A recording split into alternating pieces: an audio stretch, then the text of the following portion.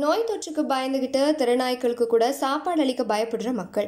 உயிரை கொள்ற கொரோனாவுக்கு எதிராக போராடி இறந்து போன டாக்டரோட உடம்பு கூட நல்லடக்கம் செய்ய விடாம தடுத்து ஆர்ப்பாட்டம் பண்ற மக்கள். இப்படின்னு சமீப காலமா ஊரடங்குல இருக்கிற நமக்கு வர செய்தி எல்லாமே இன்னமும் மனுஷங்க மேலையும் சமூகம் மேலையும் ஒரு பயத்தையும் அதிருப்தியும் தான் ஏற்படுத்திட்டு இருக்கு.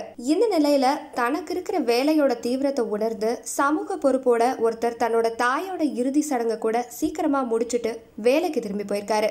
அவர் யாரு தெரியுமா? நாற்பத்தஞ்சு வயசான பெரம்பலூரை சேர்ந்த ஐயாதுரை மக்கள் பணியே தனக்கு இட்ட தலையாய கடமைன்னு சொல்ற இவரு அரசியல்வாதியோ அரசு நிறுவனத்தோட பெரிய அதிகாரியோ இல்லை. இதுவரைக்கும் மக்களை காப்பாத்துவேன்னு எங்கேயுமே தம்பட்டம் அடிச்சது இல்லை. சினிமா நடிகர்களை மாதிரி பஞ்ச் டைலாக்ஸ் பேசினதும் இல்லை. ஆனா இவர் பண்ண காரியம் அவ்வளோ மகத்தானது. போன வாரம் பெரம்பலூர் மாவட்டம் வீக்கலத்தூர் போலீஸ் ஸ்டேஷன்ல எழுத்தாளராக இருக்கிற போலீஸ் ஏட்டு ஒருவருக்கு கொரோனா தொற்று இருக்கிறத கண்டுபிடிச்சாங்க. இதுக்கப்புறமா அங்க இருந்த மத்த போலீஸ்காரங்களையும் வீட்டுல தங்குற மாதிரி அறிவுறுத்தினாங்க. அந்த போலீஸ் ஸ்டேஷன்ல டெய்லி ஃபைவ் டைம்ஸ் கிருமி நாசினி தெளிக்கிறதுக்கும் அறிவுறுத்தினாங்க.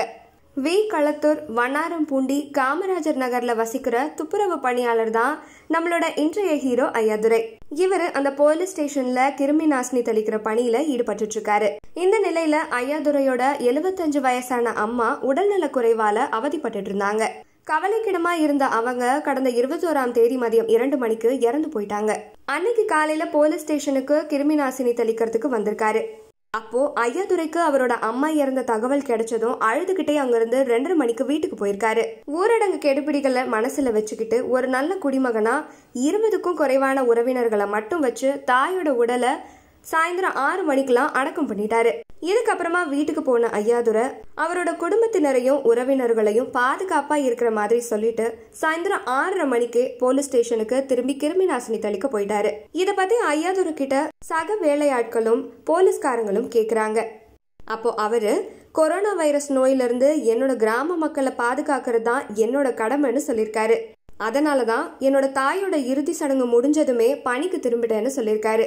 இந்த சம்பவம் போலீஸ்காரங்களை மட்டும் இல்ல அந்த பகுதியில் இருக்க எல்லாரையுமே நிகழ்ச்சியில ஆழ்த்துச்சு.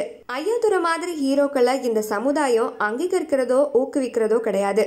ஆனா இவங்க இல்லாத ஒரு அரசு இயந்திரமோ சமூக வேலைகளோ சரியாவே நடக்காதுன்றது முடியாத காரியம்.